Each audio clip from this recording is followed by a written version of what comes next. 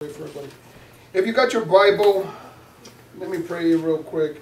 We thank you, Father God, for the message, Lord, that you prepared for your people, Father God, for they are not here by chance, God, but for a divine appointment, God.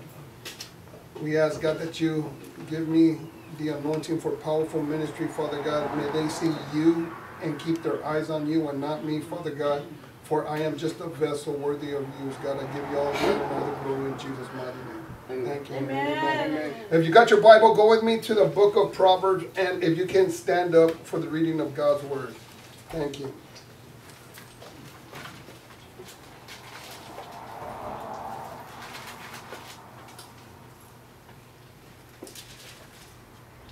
Ooh, glory to God. Ooh, I feel the anointing already. Amen, amen. Ooh. Ah. Book of Proverbs, chapter 6. Chapter 6. When everybody gets to cha- Proverbs chapter 6, say amen. Amen. Amen. I'm not going to give you the verse yet because I, 'cause I don't want you to start reading without me. Amen. Proverbs, it's in the very front, and uh, that's the Old Testament. The Old Testament. Proverbs, and then you go into something. Book of Proverbs. Let me wait for a few En medio. chapters. Right.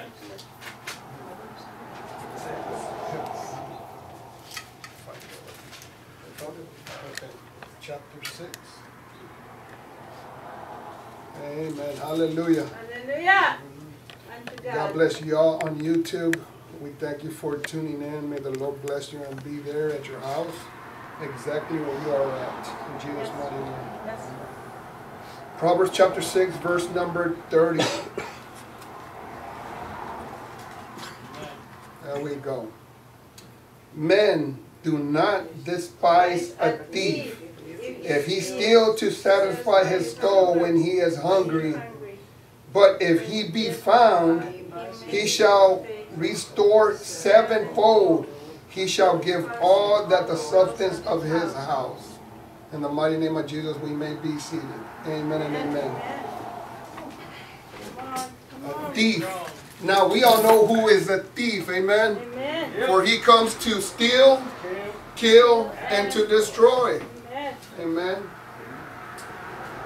The name of my teaching this morning is called Operation Search and Rescue. Operation Search and Rescue. Go with me to the book of Luke. I'm going to dive right in. The book of Luke.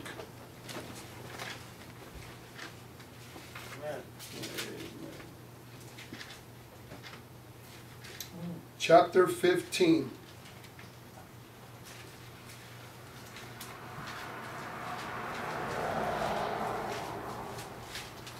Luke chapter 15.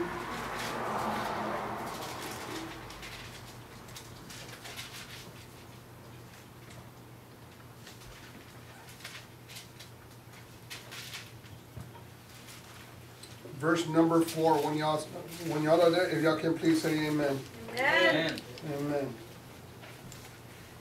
Thank you, Heavenly Father. Help me, Holy Spirit. Here we go. Jesus' mighty name. Amen. Verse number four. There we go. Luke chapter 15, verse number four. What man of you having a hundred sheep, if he lose one of them, does not leave the ninety-nine in the wilderness and go after that which is lost until he find it? And when he has found it, he laying it on his shoulders, rejoicing. And when he comes home, he calls together his friends and neighbors, saying unto them, Rejoice with me, for I have found my sheep which was lost. I say unto you, though likewise joy shall be in heaven over one sinner that repents more than over 90 and 9 just persons which need no repentance. Let me stop right there. Amen. Do you know how special you are to the Lord? Amen. The Lord, we read in, in John 10, maybe 11, you don't got to go there, but John 10, He is a good shepherd. The Lord Jesus Christ is the good shepherd. He leaves the 99 to go after that one that was lost. If you have accepted Jesus Christ in your life as Lord and Savior, and it's not hard, it's in the book of Romans. If you believe in your heart and you confess with your mouth that Jesus Christ is Lord, you shall be saved. Amen. It's called salvation. It's not mastery or trickery or nothing. It's you don't gotta do 20 push-ups, you don't gotta do squats. All you gotta do is believe in your heart and confess with your mouth that Jesus Christ is Lord Amen. and He is your Savior. You have been saved Amen. through faith, through grace, and not by works. Amen. Amen. But let's say that you're in the 100, in the 100 flock, and something happens in your life. Something happened in your life, dramatic, dramatic. Where I say uh, you you start going a different direction. You start going into the wilderness, and we know what the wilderness is. It's more into the world system instead of into the kingdom. You know God, you've accepted God, you love God, but something happened in your life that you just say, hey, let me go this way. I had more friends over here than I had over here. I had more fun over here than what I had over here. Let me go this direction to the world system. Well, guess what happens? If you accepted Jesus Christ as Lord and Savior, He leaves the 99 and He goes after you. Woo. Amen.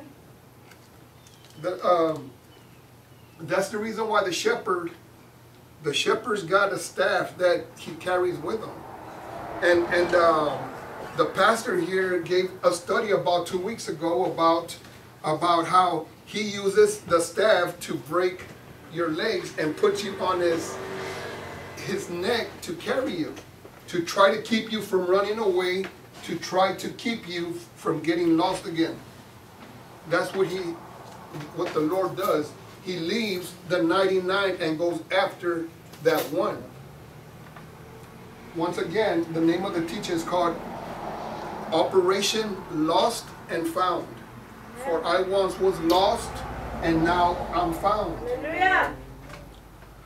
I was watching this show and there was something a man said in this show that it I stopped it and rewinded. I stopped it and rewinded. I kept on stopping it and rewind because of what he said. While I was working on this teaching, he said I was always mad. I was always frustrated.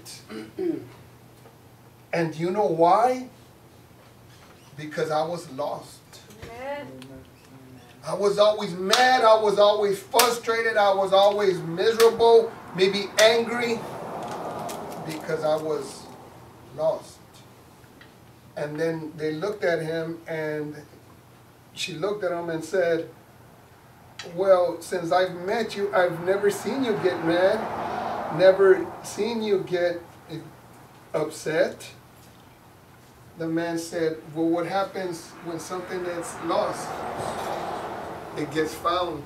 I found myself. Yes. I found myself. Thank you, Lord. And when you find yourself, when God finds you, now there's purpose in your life. Lord. What's the point of always being mad and upset and lost? You- You're lost in your mind. You're lost in your relationships. You're lost. And the man said, I stopped looking. Once I found myself, I stopped looking. Because lots of us were looking for something else besides Jesus Christ. We're looking for a car that might make you more happy. You're looking for a house that might make you maybe happier. You're looking for another partner, a woman or a man that might bring you more joy. Amen. Or not just that, you're jumping from church to church to church because you're trying to find something, but you're looking in the wrong place. Hallelujah. Amen. You're looking in the wrong place. You got to keep your eyes on Jesus, and Jesus keeps Amen. his eyes on you. Once, I'm, I'm, this is what I do, church, all the time, every time, every Sunday morning. I pray, and I ask God. I ask God, help me keep my eyes on you. Amen. Just like Peter, he told him, Step out of the boat and follow me. Peter started walking in the supernatural. He started walking in the water when he kept his eyes on Jesus. But once he took his eyes off of Jesus and started looking at the worship team, he started looking at this or he started looking at that, he started looking at the church, he started, no, no, no. It's about your relationship with Jesus Amen. not on apostles, bishops, pastors. You got to keep your. We are men, and we are used by God. Glory to God Amen. That we are being used by the Lord. But you got to keep your eyes on Jesus. We give the honor to where the honor is due. That's the men of God, the women of God. But we keep our eyes on Jesus. And when you keep your eyes on Jesus, you're not lost. You work for Jesus. Your job is for Jesus. If you volunteer, you volunteer for Jesus. The things that you do, you do unto the Lord. It says it throughout the whole Bible. You feed the hungry. When you fed the hungry, you fed me. Amen. When you did unto the poor, you gave unto me. When you visited me in jail, he says, You visited me. You visited Jesus. You're doing it unto Jesus. Amen. You're looking for everything else when it's right in front of you. Amen. Jesus. I once was lost, but now I'm found. And like I was saying, the shepherd leaves the 99 and goes after that one that strayed away. Is strayed away. You once were on a good path, following Jesus, following peace, the Prince of Peace. You were once following the one that would give you peace of mind, the one that would bless you, the one that would lift you up. Hey, men and women will leave you, but Jesus stays closer than a brother. That's what the Word of God says. And if you believe that, that is the gospel. Amen. That you, is the truth. He sticks closer to you than a brother, which means he sticks real close. But people will let you down. You got to stay closer to Jesus. Amen. Amen. When you find Jesus, everything else falls into place. Thank you, mm-hmm. Lord. Thank First, seek the kingdom of God and its righteousness. Everything else will be added onto you. Amen. Amen. That's the way it works. That's the se- It's not even a secret. It's right here. It's gospel. Amen. It's gospel. But you're looking for something else to fulfill you. There's a void that you're trying to fill. Maybe another woman might do it. Maybe another man might do it. Maybe another job might do it. Maybe more of this. Maybe more of that. No. Jesus. Amen. Amen. If I have Jesus, I've got all the joy in the world. Amen. The joy of the Lord is my strength. Amen. The joy of the Lord wakes you up happy. The joy of the Lord lets you go to sleep in perfect peace. The joy of the Lord, God, He is your Savior and your salvation. But He goes after you. He will not leave you. And then once He finds you, guess what He does? He throws a party. He calls His friends and He throws a party. Hey, I found my lost sheep. I found him. Now he's back in the flock. Amen. Amen. It was lost. You rejoice. Let's say that you got five kids, right? One of them goes to college. You got four at the house. When that one comes home, oh my God, let's barbecue. Amen. Oh my God, we're gonna have a we're gonna have a party.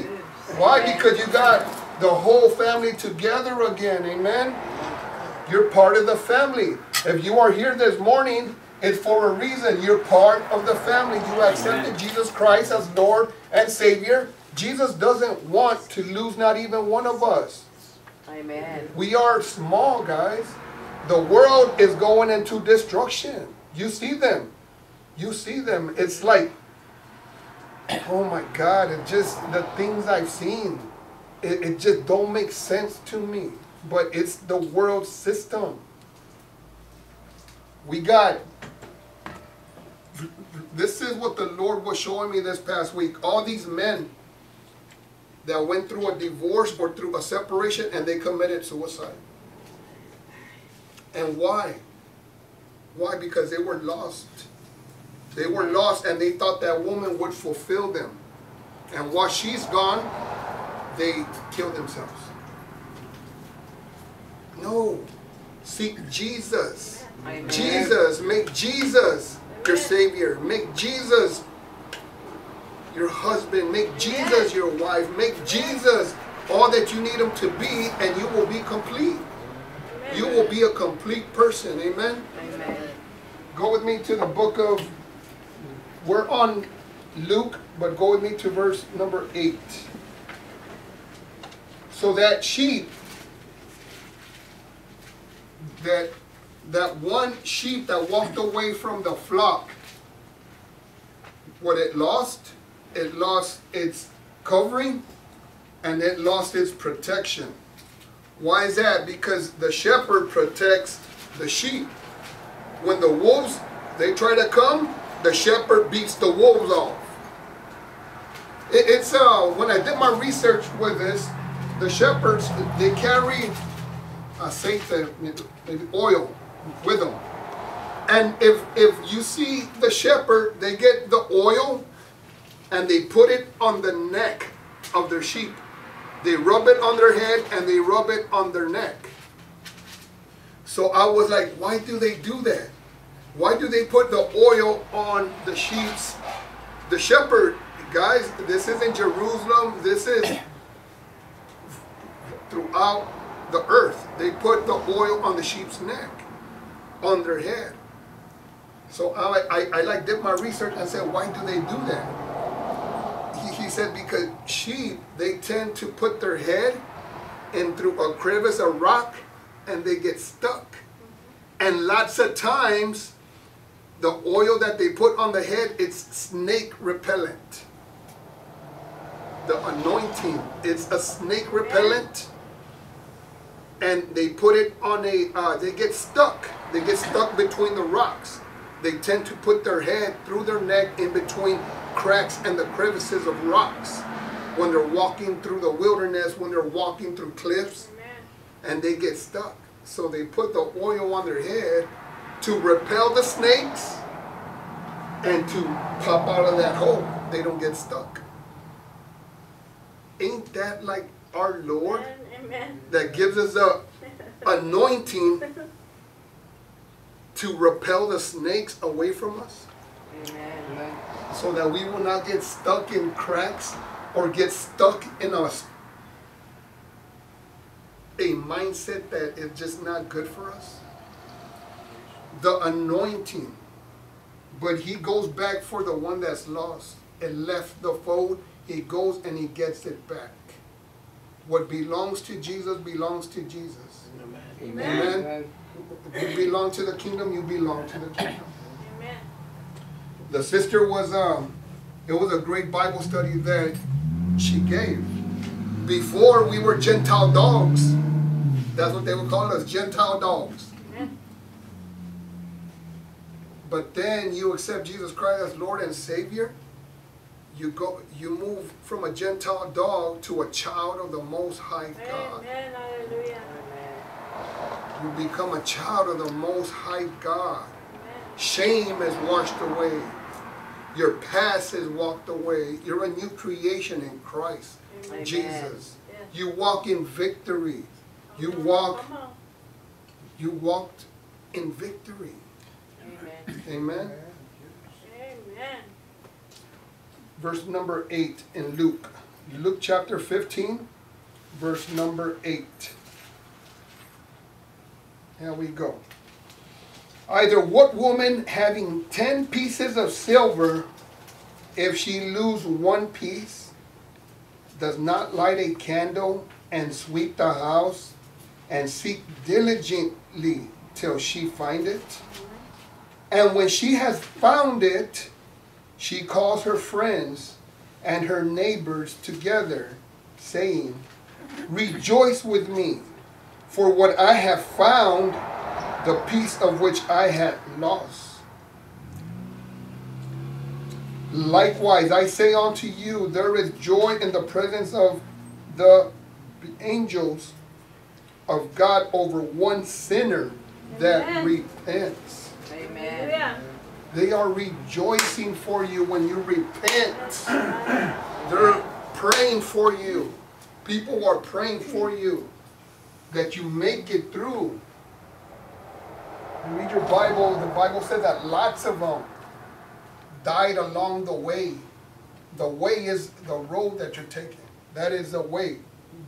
When they were trying to get from maybe Egypt to the promised land, they should have gotten there in four days. It took them 40 years to get there. And lots of them were murmuring, crying, not believing, and lots of them died before they got to their promised land. Along the way. Along the way, as you're getting to your promised land, you need to remember keep your eyes on Jesus. Thank you, Lord. Keep this it. The Bible is a spiritual book. It's a spiritual book. It's never gonna finish. It's never gonna stop. The book of Acts doesn't stop. If you read it, it looks like if it just stopped there. It doesn't. It continues on to this day, the book of Acts. We're still in the Bible Amen. terms. Make sure that you don't die along the way. Repent for your sins. You ask God to forgive you. You ask God to cleanse you and to make you white as snow. And to give you a new mindset. Amen. Because that's usually what gets the people, the mindset. You're doing so good, and then you say, You remember those days. You remember those days. Don't act like if you don't, but I'll just drink one. Casually, casually, just casual. And then one turns into five. and then five turns into ten. By the time you know it, you're loaded. Oh, just one little dab of this drug, it's not gonna do me nothing. And there you go. And message you up. And then guess what happens? Oh, please, God, don't let me die tonight, God. Please, God. I won't do it again. I won't do it again. And then what happens? Two weeks later, you're doing good. There you go again. Amen. Hey, how do I know? Because years ago, that was me. How do I know? Because that was my life. I was raised not in church, but I remember one day when nothing was doing it for me no more. Nothing, nothing. Friends, money, women, nothing. Nothing, nothing, nothing. And I gave my life to God and I fell on my knees and I cried and I asked God, God, if you are for real, from all these people telling you about Jesus, God, I don't know you, but I want to know you. He came into my life. And that was over 20 years, 25, yeah, 20, 20 something years ago. But I'm never going to forget because I was on the road to destruction. I was on the road to destruction. My next pit stop was death and then hell. That was it. That was my next stop. Uh-huh. Death and the pit of hell. See you later. Yes. But through the mercy and the grace of God, Thank you, Lord. He saved me. He cleansed me. Amen. He made me what? And, and don't get me wrong, it has not been a straight line. Along the way, He has still spanked me. He has still, hey, get it together. Hey, stop that. Amen. There goes a 99. There goes that one trying to stray away, right? Trying to go, hey, nah, uh, uh, uh, uh, where you going? Get back over here. Hey, that's it, man. There's no playing with God. You can't be in church tonight and then be at the club at night. It just don't work like that. You're gonna go through hell. Amen. But this lady, the first one, the sheep lost its covering and it lost its protection. Because once you're you come into the fold of God, God protects you. He protects you. He's your covering. This woman lost her money, her talent. She lost her coins. She had 10, right? She lost one. She lit a candle, she swept up the house to try to find what she lost. So I tell you today, keep on sweeping. Amen. Keep on sweeping. Get back what you lost. And just like I started the message in the book of Proverbs, the thief must return back to you seven times more of what he stole from you. Amen.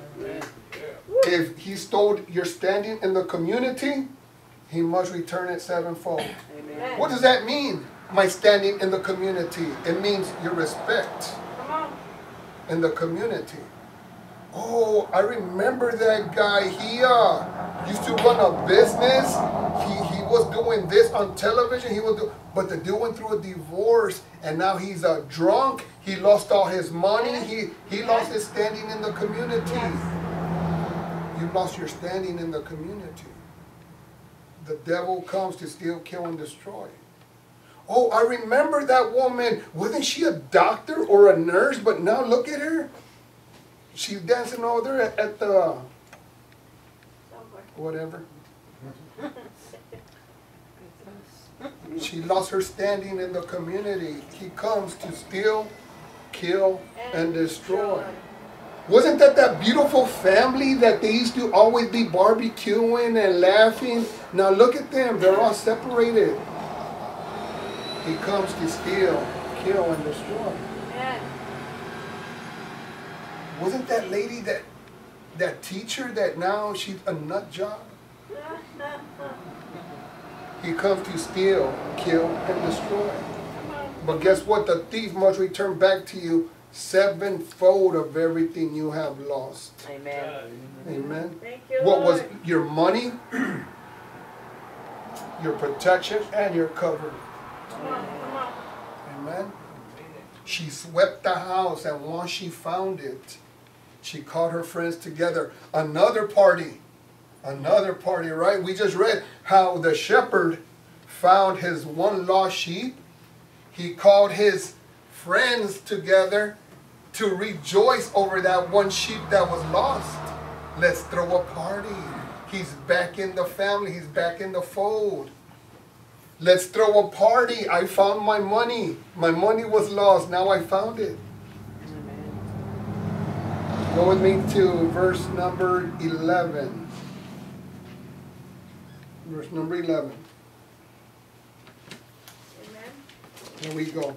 And he said, A certain man had two sons, and the younger of them said to his father, Father, give me the portion of goods that falls to me.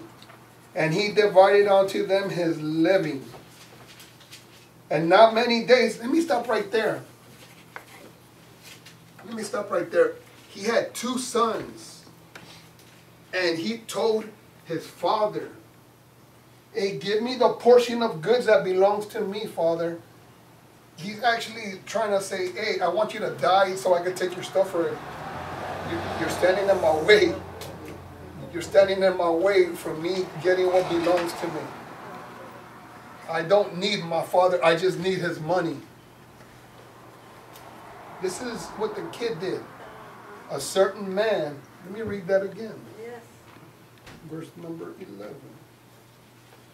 Verse number 12. And the younger of them said to his father, Father, give me the portion of goods that falls to me. And he divided unto them his living. You know that there's a portion of goods that comes to every person? Amen. It's called your inheritance. Amen.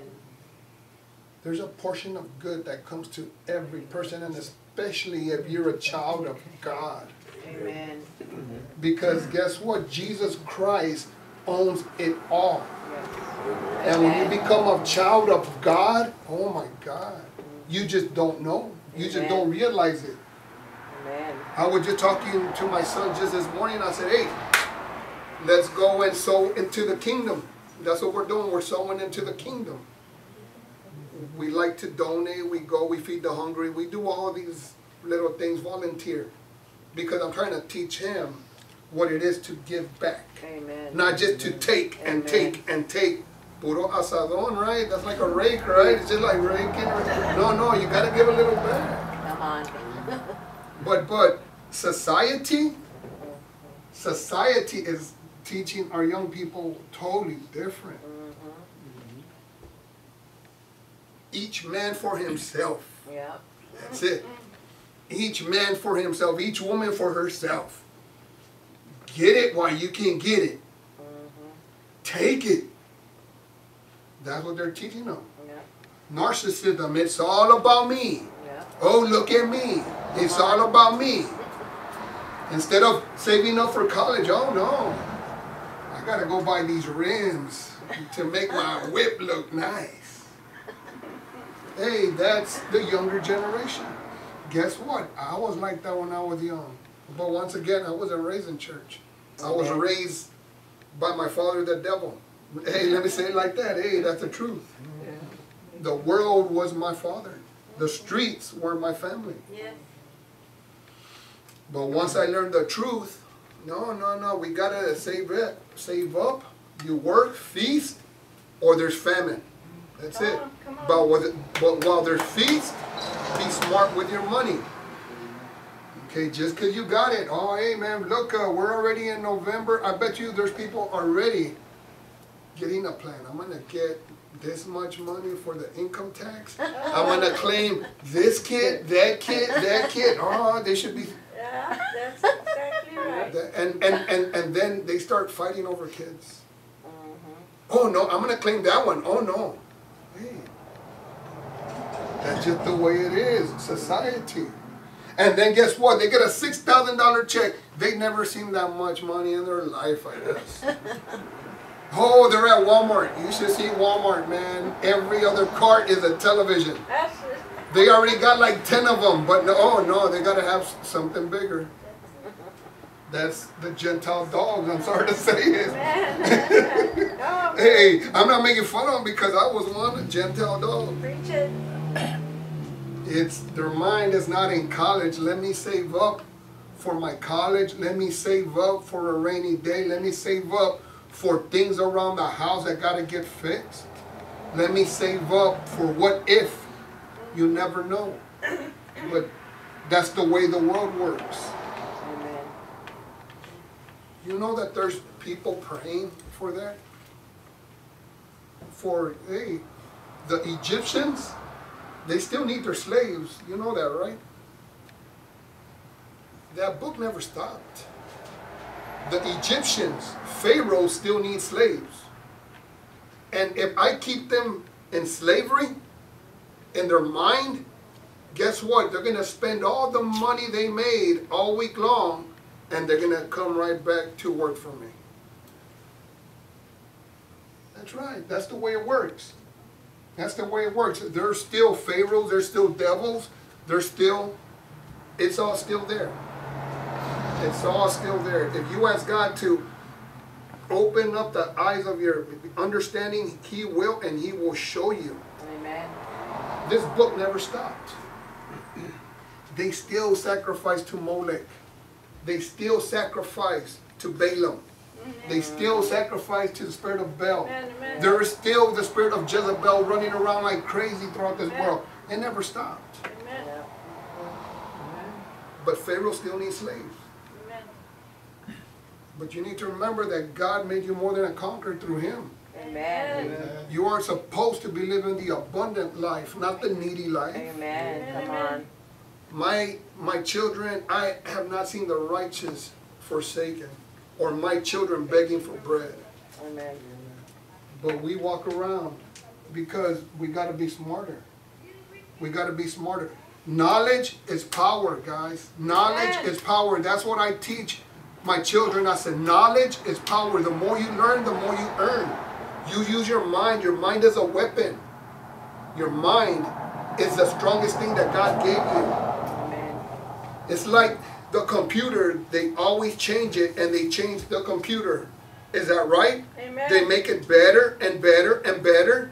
But guess what happens if you got a nice computer and then you get viruses? You get the mal you get all these viruses inside your mind. The computer breaks down. Right? And then you got to take it and spend more money to get it fixed. Remove all these viruses from there. That's what we do when we come to the word to Christ, to church. That's when we come when we receive the word of God. He cleanses our viruses. He removes the sickness. He removes all this, these bad things that try to attack you. Amen. Amen. Because the word of God says He brings bring every thought captive to the obedience of Christ. Amen. So these thoughts that come towards me, they gotta be obedient to Christ. If they don't belong to me, they don't belong to me. But that's the reason why we come to God. Amen, amen. So he had two sons, this one son. Let's move on the next verse. Verse number 13. And not many days after the younger son gathered all together and took his journey into a far country, and there wasted his substance Amen. with riotous living. Riotous living. So the dad gave him his money. He said, There you go, son. There you go. It, it, that sounds a lot like the lottery to me. With people that win the lottery, they, they win the lottery